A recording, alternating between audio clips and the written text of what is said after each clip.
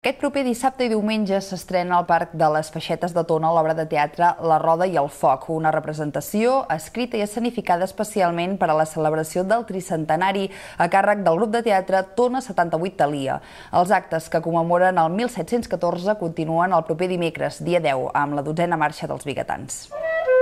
Entrem a casa del senyor Andreu. Avui, precisament, han rebut la visita d'en Valdiri, que ha fugit de la Barcelona ocupada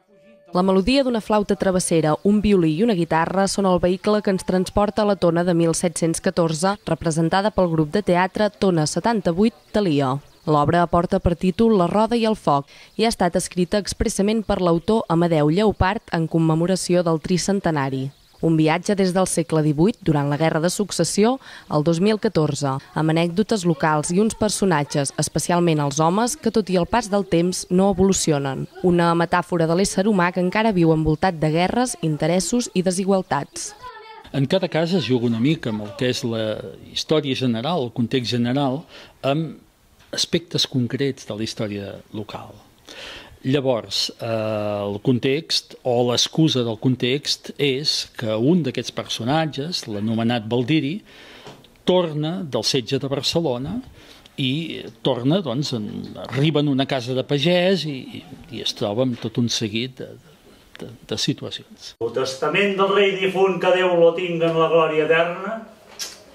L'evolució que ha patit el català al llarg d'aquests quatre segles ha estat un dels reptes que han hagut de fer front els actors de l'obra, una representació que anirà acompanyada de música en directe i es farà a l'aire lliure, concretament al Parc de les Feixetes, aquest proper dissabte i diumenge a les 9 del vespre. El que ens ajuda molt a posar-ho en escena, haver-hi de 100 anys de diferència, doncs una mica hem, hem intentat buscar doncs, un vestuari adequat, tot i que el que és l'escenografia toquem al mínim, Uh, volem una sonografia bastant neta, bastant, que no hi hagin gaires objectes, just quatre coses concretes que marquin una mica més l'època. Aquesta és una representació que forma part dels actes organitzats a Tona en motiu del tricentenari, amb l'objectiu de transportar el poble al segle XVIII. Les activitats continuaran el proper dimecres dia 10 de setembre a les 5 de la tarda amb la dotzena marxa dels biguetans i la botifarrada popular i l'audició de sardanes el mateix dia a les 9 del vespre.